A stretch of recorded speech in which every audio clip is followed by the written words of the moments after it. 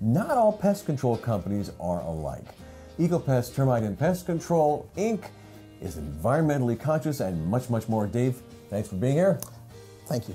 Let's talk about pests first of all. What kind of pests are we talking about here? There's a number of pests we can talk about. We have large cockroaches that invade from the outside. We have a variety of ants Mm-hmm. that have become a problem in the last three or four years that we can take care of. We have rats, we have mice, spiders, fleas, So, all pests. all pests.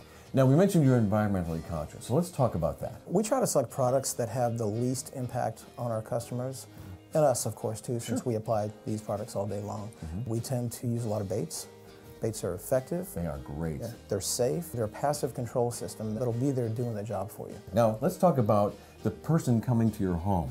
Very well trained. Our average employee has been with us over 10 years, and we have an ongoing training program which obviously complements that. Now, Dave, not every home and business is the same. Everybody might have a different problem. That is so true. So, how do you address that? We don't have a cookie cutter service, not a one size fits all type of a, a service. We feel it's important to address the problem that each customer has in the way that's going to best solve their problem.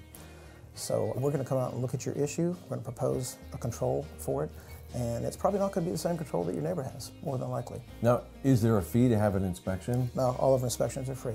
You take the time to tell people and show them and educate them about what is happening in their home. Uh, We feel it's important that customers know what we're doing and know what to look for in case they have another problem. We're not really a, a hard sell type of a company. We like to educate you, give the information that you need to make an educated decision, and let you make that decision. So, David, let's say I have a palmetto bug infestation, which I did and which you took care of. Yes, we did. How often do you have to come out? It really varies from problem to problem and house to house. We offer anything from monthly to bi-monthly to quarterly to annual service. Mm-hmm. Our, our most popular service is quarterly service. Sure, that would make sense to me. And it, really doesn't matter what you pick. All our services are guaranteed. If you need us to come back in between visits, we'll come back free of charge. They're awesome. So, David, let's say I don't notice that I have any pests, but I know we're going into pest season and I want to call EcoPest. What is it that you will do for me? Well, first let me say that every season is pest season in Florida. Yeah.